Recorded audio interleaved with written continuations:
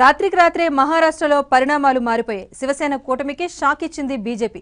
మహారాష్ట్ర రాజకీయాల్లో క్లైమాక్స్ థ్రిల్లర్ను తలపించింది. ఊహించిన విధంగా రాత్రికి రాత్రే పరిణామాలన్నీ మారిపోయాయి. శివసేన కాంగ్రెస్ ఎన్సీపీ కూటమి అధికారం చేపడుతుంది అనుకుంటే ఏకంగా ఎన్సీపీలో చీలిక తెచ్చి బీజేపీ పావులు కదిపింది. దీంతో ఉదయం ఎనిమిది గంటలకే ఫడ్నవీస్ సీఎంగా ప్రమాణ స్వీకారం చేశారు. ఎన్సీపీకి చెందిన అజిత్ పవార్ డిప్యూటీ సీఎంగా ప్రమాణ స్వీకారం చేశారు.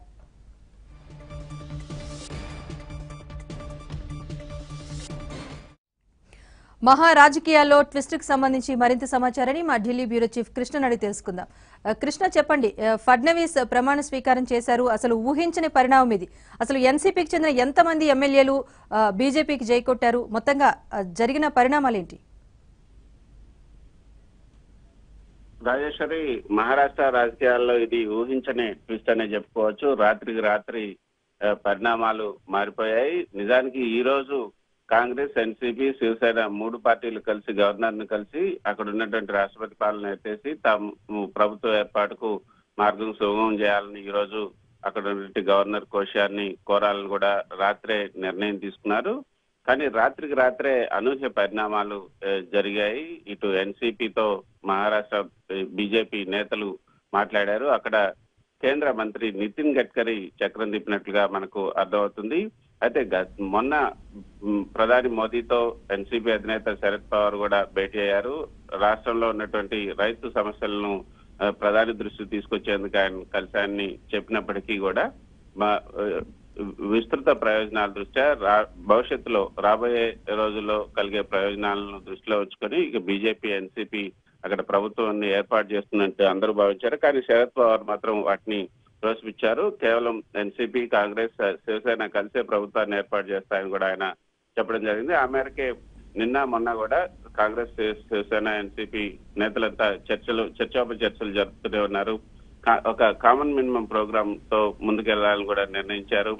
ఆదిత్య థాకరే కాకుండా శివసేన అధినేత ఉద్ధవ్ థాకరేనే సీఎం గా చేస్తేనే తాము అంగీకరిస్తామంటూ కాంగ్రెస్ పెట్టినటువంటి షరతును కూడా ఉద్దవ్ థాక్రే అంగీకరించారు. ఇక ఉద్దవ్ థాకరేనే సీఎం కాబోతున్నారంటూ రాత్రి కూడా రాత్రి పదకొండు గంటల సమయంలో కూడా ఎన్సీపీ అధినేత శరద్ పవార్ విలేకరులకు ఇచ్చినటువంటి ఇంటర్వ్యూలో ఇక సమస్యలన్నీ సర్దుమణిగాయి.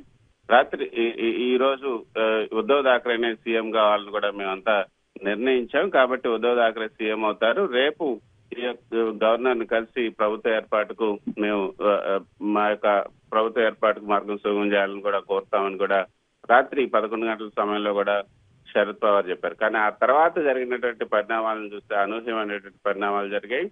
కానీ ప్రస్తుతానికి మనకు అందుతున్నటువంటి సమాచారం అజిత్ పవార్ డిప్యూటీ సీఎం గా ప్రమాణ స్వీకారం చేశారు. కోశారి గా తన రాజ్భవన్లో కేవలం ఇద్దరికి మాత్రమే ప్రమాణ స్వీకారం చేయించారు. ఒకటి సీఎం గా ఫడ్నవీస్ డిప్యూటీ సీఎం గా ఎన్సీపీ ఎన్సీపీ అధినేత శరద్ పవార్ మేనల్లుడైనటువంటి అజిత్ పవార్ డిప్యూటీ సీఎం చేశారు. మరి మొత్తం అసలు ఎన్సీపీ ఈ అందరూ సభ్యులంతా బీజేపీకి మద్దతు ఇస్తున్నారా? లేకపోతే కొంతమంది మాత్రమే మద్దతు ఇస్తున్నారా? ఎంతమంది మద్దతు ఇస్తున్నారు? అసలు ఏ ఏ విధంగా ఫామ్ చేశారు అనేది కూడా ఇంతవరకు సమాచారం అందటం లేదు. కొద్దిసేపు క్రితం మనం చూసాం ఫడ్నవీస్ విలేకరులతో మాట్లాడుతూ ఇక్కడ సుస్థిరమైనటువంటి సమర్థమైనటువంటి ప్రభుత్వాన్ని ఏర్పాటు చేయడం కోసం ఎన్సీపీ బీజేపీ కలిసి ప్రభుత్వాన్ని ఏర్పాటు చేశాం. మా డిప్యూటీ సీఎం గా అజిత్ పవార్ బాధ్యత స్వీకరించారని మాత్రమే ఆయన చెప్పారు కానీ అసలు కాంబినేషన్ ఏంటి? ఎంతమంది ఎమ్మెల్యేలు సపోర్ట్ చేస్తున్నారు? మొత్తానికి గత ఎన్నికల్లో కేవలం నూట నాలుగు నూట ఐదు సీట్లు మాత్రమే బీజేపీకి వచ్చాయి. Magic figure one forty five దాటాలంటే వాళ్ళకి ఇంకా నలభై మంది సపోర్ట్ అవసరం. కానీ నలభై ఐదుకు పైగా ఉన్నటువంటి ఎన్సీపీ మద్దతు సరిపోతుంది. కానీ ఎంతమంది ఎన్సీపీలో ఉన్నటువంటి ఎమ్మెల్యేలు మత్తిచ్చారు? మొత్తం శరద్ పవార్ అనుమతి మేరకే శరద్ పవార్ ఆదేశాల మేరకే శరద్ పవార్ అంగీకారం మేరకే ఎన్సీపీ ఎమ్మెల్యేలంతా మద్దతు ఇచ్చారా లేకపోతే వాళ్ళలో ఉన్నటువంటి కొంతమంది మాత్రమే మద్దతు ఇచ్చారా అనేది ఇంకా చూడాల్సి ఉంటుంది. దీని మీద శరద్ పవార్ ఇంతవరకు కూడా ఎటువంటి ప్రకటన చేయలేదు. కాంగ్రెస్ నేతలు అందరూ కూడా ఒక షాక్లో ఉన్నారనే చెప్పుకోవచ్చు. అసలు ఏం జరుగుతుందో కూడా అసలు ఎవరికి ఏం అర్థం కావట్లేదు ఈ రోజు దాదాపు ఉద్దవ్ థాక్రే ఉద్ధవ్ ఈ రోజు ప్రమాణ స్వీకారం చేయబోతున్నారు సీఎం గాని చెప్పినటువంటి పరిస్థితుల్లో రాత్రికి రాత్రి ఈ అనూహ్యమైన పరిణామాలు చోటు చేసుకోవటం అది శరద్ పవార్కు తెలియకుండా ఆ పార్టీకి సంబంధించినటువంటి ఎన్సీపీ కి సంబంధించినటువంటి ఆయన మేనల్లుడు అజిత్ పవార్ పార్టీని చీల్చే అవకాశాలు అయితే లేదని చెప్పొచ్చు.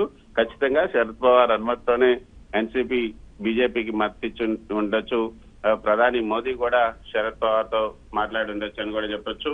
ఏదైతే కొద్దిసేపు క్రితం ప్రధాని మా- ప్రధాని కూడా తన ట్వీట్లో దేవేంద్ర ఫడ్నవీస్ ప్రభుత్వానికి అభినందనలు తెలియజేశారు.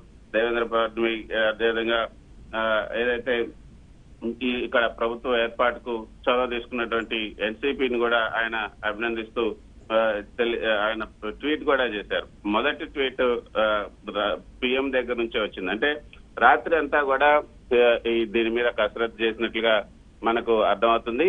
ప్రధాని కార్యాలయం నుంచి దీన్ని ఆపరేట్ చేసినట్లుగానే మనం చేసుకోవచ్చు. అక్కడ నితిన్ గడ్కరీకి ఈ అవకాశాన్ని ఇచ్చారు. అక్కడ ప్రభుత్వ ఏర్పాటుకు తగిన ఏర్పాట్లు చేయాలని కూడా నితిన్ గడ్కరీ నిన్న మొన్నటి నిన్న మొన్న అంతా కూడా మాట్లాడుతున్నారు. కాబట్టి ఈ దీంట్లో ఎన్సీపీ ఎమ్మెల్యేలు ఎంతమంది మద్దతిస్తున్నారు? అటు కాంగ్రెస్ ఎమ్మెల్యేలు ఎంతమంది మద్దతిస్తున్నారు అనేది కూడా మనం చూడాల్సి ఉంది. ఎందుకంటే కాంగ్రెస్ ఎన్సీ శివసేనతో కలగటం అక్కడ కాంగ్రెస్లో ఉన్నటువంటి కొంతమంది ఎమ్మెల్యేలకు నచ్చలేదు.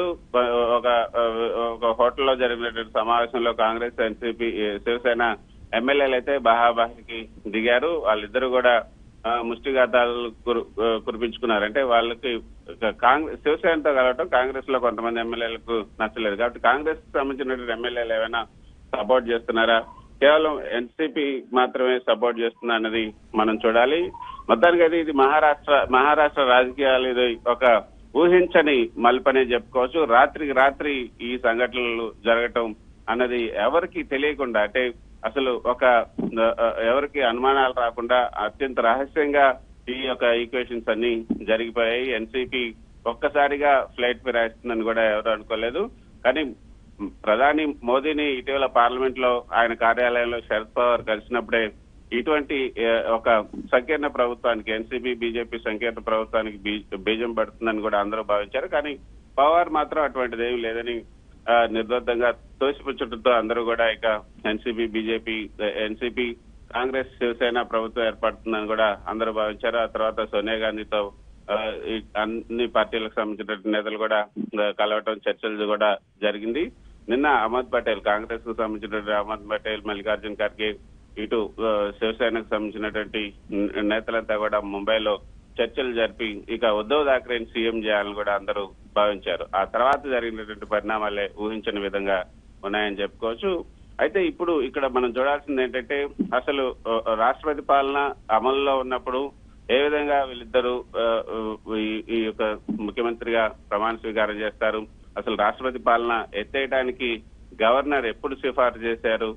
గవర్నర్ సిఫార్సును అక్కడ కేంద్ర కేబినెట్ ఎప్పుడు ఆమోదించింది? కేంద్ర కేబినెట్ సిఫార్సును రాష్ట్రపతికి ఎప్పుడు పంపించారు? రాష్ట్రపతి ఎప్పుడు అక్కడ మా ఈ యొక్క రాష్ట్రపతి పాలనను తొలగించారు అనేది కూడా మనం చూడాల్సి ఉంటుంది. రాష్ట్రపతి పాలన ఉన్నంత వరకు కూడా అక్కడ ముఖ్యమంత్రిగా ఎవరు ప్రమాణ స్వీకారం చేయడానికి లేదు. రాష్ట్రపతి పాలన తొలగించిన తర్వాతనే ముఖ్యమంత్రిగా ప్రమాణ స్వీకారం చేయాల్సి ఉంటుంది. కాబట్టి ముఖ్యమంత్రిగా ప్రమాణ స్వీకారం చేయడానికి ముందే రాష్ట్రపతి పాలన తీసేశారా? లేకపోతే ఇప్పుడు ఈ రోజు ఏమైనా అక్కడ గవర్నర్ కోశ్యారి ఇక్కడ ప్రభుత్వం ఏర్పడింది కాబట్టి ఇక రాష్ట్రపతి పాలన ఎత్తేయొచ్చు అంటూ ఏమైనా సిఫార్సు చేసే అవకాశం ఉందని కూడా చూడాలి. నిజానికైతే రాష్ట్రపతి పాలన ఎత్తేసిన తర్వాతనే అక్కడ ముఖ్యమంత్రిగా ప్రమాణ స్వీకారం చేయాల్సి ఉంటుంది. ఆ- ఆ సీక్వెన్స్ ఎట్లా జరిగిందన్నది కూడా మనకి ఇంకా సమాచారం రావట్లేదు. కేంద్ర ప్రభుత్వానికి సంబంధించినటువంటి పెద్దల నుంచి సమాచారం రావాల్సి ఉంటుంది. ఏదైనా ఇది ఇటీవల ఈ- ఈ యొక్క రాజకీయాల్లో ఇది ఒక ఊహించని మలుపనే చెప్పొచ్చు. ఎన్సీపీ బీజేపీలు కలిసి ఈ విధంగా ఏర్పాటు చేయటం అన్నది మొదట ఊహించిన దానికన్నా భిన్నంగా ఇది జరిగింది. నిజానికి బీజేపీ శివసేన కలిసి గత ఎన్నికల్లో పోటీ చేశాయి మిత్రపక్షాలుగా పోటీ చేశాయి. ఎవరైనా బీజేపీకి సంబంధించినటువంటి వ్యక్తి ఫడ్నవీసే ముఖ్యమంత్రిగా ఉంటారని కూడా ఎన్నికల ప్రచారంలో మోదీ అమిత్ షాతో పాటు అందరూ కూడా భావించారు. కానీ అనూహ్యంగా బీజేపీకి తగినటువంటి సీట్లు మ్యాజిక్ ఫిగర్ రాకపోవడంతో శివసేన ఆ, తాను ఒక త- తనకే బీజేపీ ముఖ్యమంత్రి పదవి కావాలంటూ నలభై ఆరు సీట్లు వచ్చినప్పటికీ కూడా తమకే ముఖ్యమంత్రి సీటు కావాలంటూ భీష్మించి కూర్చుంది. దాంతో ఇక వేరే పార్టీలతో కలుపుకొని ప్రభుత్వాన్ని ఏర్పాటు చేయాలని ముందు బీజేపీ భావించింది. కానీ ఎన్సీపీ కాంగ్రెస్లు మిగతా ఏదైతే కొంతమంది ఇండిపెండెన్స్ సపోర్ట్ చేయకపోవడంతో తాను మద్దతు ప్రభుత్వాన్ని ఏర్పాటు చేయలేనని కూడా గవర్నర్ కోశ్యారికి స్పష్టం చేశారు. ముందు సింగిల్ లార్జెస్ట్ పార్టీ అయినటువంటి బీజేపీకే ప్రభుత్వాన్ని ఏర్పాటు చేయాలంటూ గవర్నర్ ఆహ్వానం పలికారు. అయితే మూడు రోజుల తర్వాత తాము ప్రభుత్వాన్ని ఏర్పాటు చేయలేమంటూ ఫడ్నవీస్ గవర్నర్కు చెప్పడంతో సెకండ్ లార్జెస్ట్ పార్టీ అయినటువంటి శివసేనకు ప్రభుత్వ ఏర్పాటుకు ఆహ్వానం పలికారు.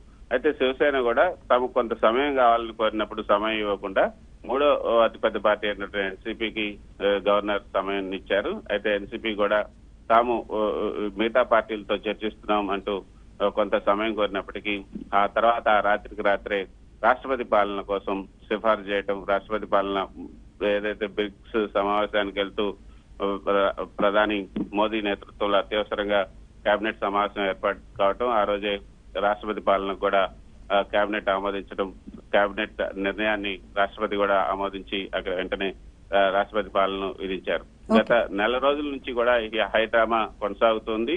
ఈ హైడ్రామాకి ఈ విధంగా ట్విస్ట్ జరిగింది. ఇప్పుడు శరద్ పవార్ కేవలం అంటే శరద్ పవార్ కృష్ణ. రాష్ట్రపతిగా రాబోయే రోజుల్లో రాష్ట్రపతి కావాలని శరద్ పవార్ భావిస్తున్నారు. కాబట్టి రాష్ట్రపతిగా శరద్ పవార్ హామీ ఇచ్చినందువల్లనే శరద్ పవార్ను ఎన్సీపీ శరద్ పవార్ ఎన్సీపీ బీజేపీకి మద్దతు ఇచ్చిందన్న ఊహాగానాలు కూడా వస్తున్నాయి. ఏదైనప్పటికీ. మరి కొద్దిసేపట్లో శరద్ పవార్ విలేకరుల ముందుకు వచ్చి అసలు విషయాలన్నీ కూడా చెప్పే అవకాశాలు ఉన్నాయి థ్యాంక్ యూ కృష్ణ